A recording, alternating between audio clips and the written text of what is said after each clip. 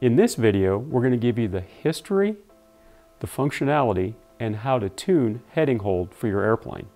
Let's get started. So once again, we'll use the helicopter as the example. So in heading hold with radio control helicopters, um, especially, um, you know, we, we came up with priority. It really helped. Now you have these high rotation rates. Well, individuals started doing some pretty crazy things with helicopters. And um, you know, including flying sideways really rapidly, flying backwards really rapidly. And again, folks were finding, you know, a rate gyro still wants to weather vane into the natural direction of wind. So when you fly backwards, it takes an awful lot of effort unless you have heading hold in order to keep the tail, you know, tail first because you're going backwards in the wind, especially at really, really high speeds. There were a few people that could do it. There was Curtis uh, Youngblood, for example, could could kind of pull it off. But like doing backwards rolls, backwards loops, and things like that were pretty almost impossible to do until heading hold came along. Well, again, some really smart people came up with the idea that, hey, let's incorporate heading hold. So what heading hold does is, so rate mode, like I said, the, the airplane or helicopter will weather vane. It, it basically is a damper, so it slows down the intended rate of rotation um, that's influenced by external forces like wind and so on. What heading hold does is it actually maintains that heading. That's why it's called heading hold. So when you release the stick, be it on aileron, elevator, or in the case with um, helicopters, it was primarily on rudder back in those days. When you release the stick, the tail and the nose, it'll stay in the same position. So if you fly sideways, if you fly backwards, whatever, the tail will always stay in the same position um, assuming it's set up correctly. Um, what this allowed people to do was crazy maneuvers with helicopters. In fact, average people were able to progress to do, you know, backwards roll, backwards rolling circles, backwards loops, um, sideways maneuvers, and so on, because you didn't have to do anything with the rudder. You place the tail where you want it to be. So, um, gosh, and this was like in the uh, like in the middle 80s, and so I actually started um, flying helicopters in the late 70s. So. Uh, was fortunate enough to experience all these innovations as, uh, as we went through. So um, heading hold, though, a really, really big deal. We started applying heading hold to airplanes as well, probably in the late 80s. And the primary reason and the first reason that we used was for torque roll training. So all of a sudden it became very, very popular for people to be able to hover airplanes. Uh, Quique Somenzini at the TOC um, was able to hover um, without gyros, and everybody thought, wow, this was great, and everybody was trying to do it, but it was very difficult to do. Well, by adding a gyro, that helped a lot, but adding a gyro with heading hold helped tremendously. So, assuming that the airplane has a lot of control authority, you can actually set up a gyro such that the an airplane you can get it to hover hands off. Now it's a little tricky because the airplane itself has to have plenty of power and a lot of control authority but I've certainly had airplanes where I can pull it into hover and turn on the gyro, turn the gains way up with heading hold, and it'll you know just basically sit there. Of course, naturally it drifts with the wind. But that's where heading hold was first being utilized with airplanes. What's happened since then is airplane development's gotten a lot better. Um, pilots have also become a lot more skilled, and now not that many people use that for hovering training. Some people for hovering training use it a little bit, especially on rudder, but not as much as they used to. So heading hold really isn't used as much anymore as it, as it was at one point.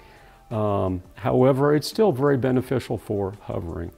So, um, so for airplanes, heading hold for sport flying and for precision flying, of course, in a lot of competitions, uh, gyros are not allowed. Um, so in competition, for the most part, you're not allowed to use an active gyro. But for sport flying, some folks, including myself, I like to turn the gain up slightly, heading gain up slightly for roll and roll only. What it seems to do is it helps the airplane be more stabilized and more trim. So when I release the stick and roll, the airplane locks in and it's just, it's solid in roll. So you just can't get that same feeling unless you have heading hold. Especially nowadays, we fly a lot of airplanes that are, you know, foam, they're not rigid. It's not like the composite airplanes that we used to fly that were very rigid, ultra, ultra precise you know, nowadays with the foamy airplanes, um, the, the, heading hold gives them that precise feeling of a really well-built, tuned composite airplane on roll only. So by the way, when we go through this, and I'll show you here in a second how to do it, there's also a warning about putting it on rudder. So on rudder, if you add heading hold to rudder, you're going to get a very unnatural feeling when you make the turn. So you'll you'll bank into a turn, and the airplane won't want to won't want to turn into the turn. So to access the heading hold feature, again we'll go to forward programming, go to gyro settings, AS3X settings, and the third item down is heading. So we'll select heading, and again you have the ability to set them independently in each flight mode. And you also have the ability to set heading hold for the roll, pitch, and yaw. Again, down here at the bottom it says caution. Um, when using yaw heading gain, um, as I mentioned just a few minutes ago, be very careful when you apply this to the rudder. So let me show you how um, heading hold works. So if you'll take a look, when I rotate in yaw here, or I'm sorry, when I rotate this and roll, um, you'll notice that when I rotate, it always comes back to its original position. So um, if I apply heading hold, and I'm going to put a big number of heading hold, this is going to be 100% only for the uh, uh, demonstration here. You, you know, 100% is an awful lot. So now look what happens. When I rotate this and leave it in that position, the servo actually stays in that position. And the reason it does is it gives, so if I roll to the right, it gives it left correction, and then it stays in that position until it comes back to its original position. So that's how heading hold works, and that's the way you can tell if it's turned on in your airplane. If the airplane was turned on, you'll move the, uh, you'll roll the um, airplane, and the aileron will stay up in one position, it'll go down in the other position. By the way, a lot of times when you, um, when you set the airplane on the runway, the aileron or the elevator may not be centered, and of course what you do is you simply uh, hit the stick and it'll recenter it. By the way, heading hold is only applied at center. So, so let me see if I can show you how this works. So heading hold is applied at center. So I roll. So if I give a displacement, you'll see heading hold is not being applied.